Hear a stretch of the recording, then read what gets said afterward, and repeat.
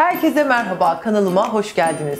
Bugün sizlere makyaj nasıl temizlenir bununla alakalı küçük bilgiler vermek istiyorum. Akabinde cilt bakımı nasıl yapılır? Cilt bakımının önemi bunları anlatmak istiyorum.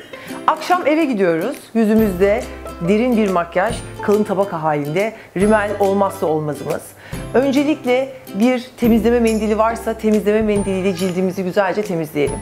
Akabinde güzel bir sabunla ya da zeytinyağı sabunu çok öneriyorum ben. Eğer cilt çok yağlıysa kesinlikle zeytinyağı sabun.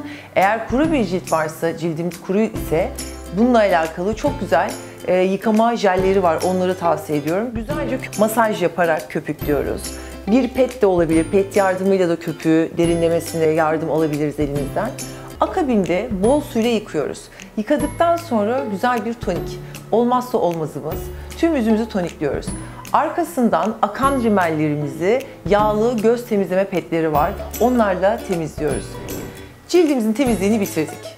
Yağlı ve karma bir cildiniz varsa serum kullanmayı tavsiye ediyorum. Çünkü serumlar daha e, su bazlı olduğu için ve cildi daha çok tedavi ettiği için serum olmazsa olmazlarımızdan. Kuru ciltlerde yoğun bir nemlendirici ve serumla birlikte takviye kullanabilirler.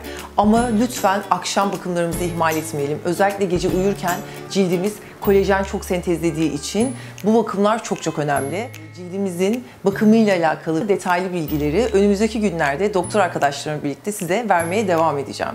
Sevgiyle kalın, görüşmek üzere.